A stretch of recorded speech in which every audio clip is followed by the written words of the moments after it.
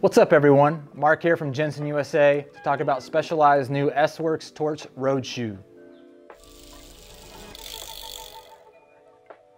Some of these key features that are coming in with this new generation of the Torch is the reinforced upper.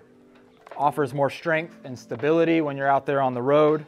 It also has the new base plate, and this is a new carbon plate that's 20 grams lighter than the previous model as well as offering four millimeters of room in the width of the ball of your foot. This is key for having a wider toe box, offering a little more comfort when you're out there on your long rides by still maintaining a very lightweight feel.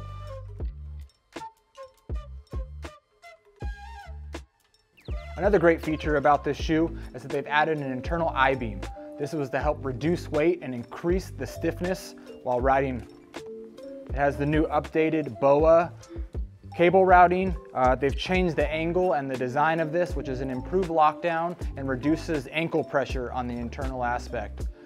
And one last cool little feature they've added to the shoe is they've added a replaceable non-slip heel pad.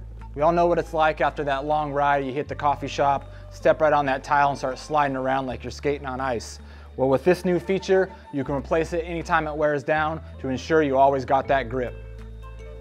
And to wrap things up, Specialized S-Works Torch shoes, they really brought it home here.